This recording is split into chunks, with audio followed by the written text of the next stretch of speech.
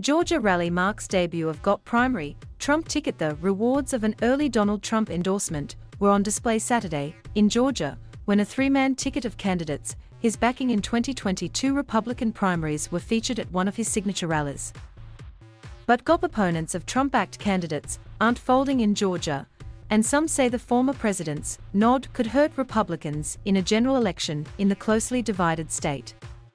Trump's endorsement blitz is a frank attempt to keep remaking the party in his image, with Republicans eagerly courting his favor. But like everything else about the former president, it's a rule rewriting approach, said Casey Dominguez, a political science professor at the University of San Diego. We haven't seen presidents in recent years try to drive a wedge within their own party, which is what happens in a primary election, Dominguez said. He's playing factional politics in the party, it's easy to see why they might want Trump's backing. He maintains overwhelming support among Republican voters. Ballotpedia, which tracks Trump endorsements, says candidates he endorsed have won 37 of 43 competitive primaries since 2017. Trump was joined at the rally in Perry, about 100 miles south of Atlanta, by three candidates he has endorsed, including Herschel Walker, who recently launched a Senate campaign. Trump had urged the former football great to challenge Democratic U.S. Senator Raphael Warnock. In one of his first public appearances since entering the race, Walker on Saturday talked about his relationship with Trump, but also urged his listeners to come together as a people and not be upset with others because they disagree with you.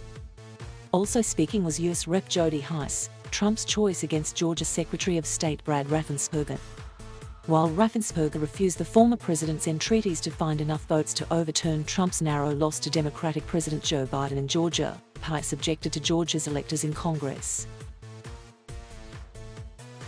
Completing the trio is State Senator Burt Jones, an early Trump supporter who pushed measures to overturn Biden's Georgia win and is running for Lieutenant Governor. Dr. Rally, though, was all about Trump who remains the star of his own show as numerous supporters arrived bearing Trump gear. Despite a lack of credible evidence to support Trump's allegations of mass voter fraud, the former president has continued to push the big lie that he won, turning it into a litmus test for GOP candidates. A majority of Republican voters continue to believe the election was stolen, despite dozens of state and local elections officials, numerous judges and Trump's own attorney general saying Biden won fairly.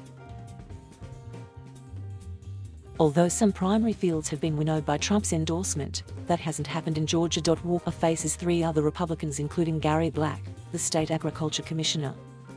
Black has attacked Walker, saying he's untested. On Monday, Black rolled out endorsements from 55 state lawmakers, laying them atop endorsements from 76 county sheriffs, former Governor Nathan Deal and former U.S. Rep. Doug Collins, a one-time Trump favorite. It's okay to be a fan of Herschel Walker, the football player, Black said.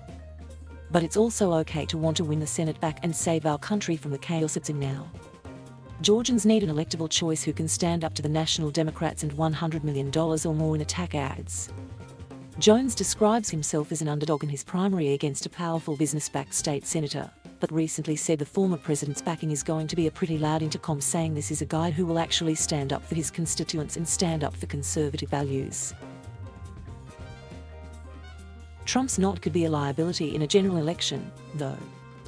Trump lost narrowly in Georgia, and Republicans Kelly Loeffler and David Perdue lost runoffs for Senate seats to Warnock and Jon Ossoff by wider margins in January. Many, including some Republicans, have said Trump's insistent claims that the November 2020 election was rigged to press GOP runoff turnout, delivering U.S. Senate control to Democrats.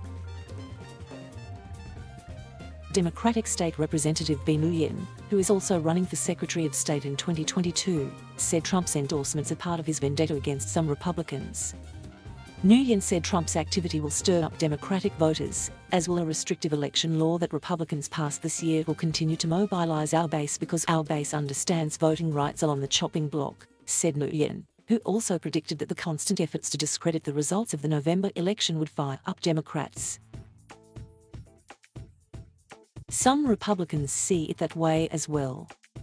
GOP consultant Paul Shoemaker noted in a June memo that polling showed voters in North Carolina were less likely to back a Trump endorsed candidate and more likely to vote for a Biden endorsed candidate when comparing a Trump endorsed candidate to a Biden endorsed candidate. Our advantage with the unaffiliated voters evaporates, Shoemaker wrote.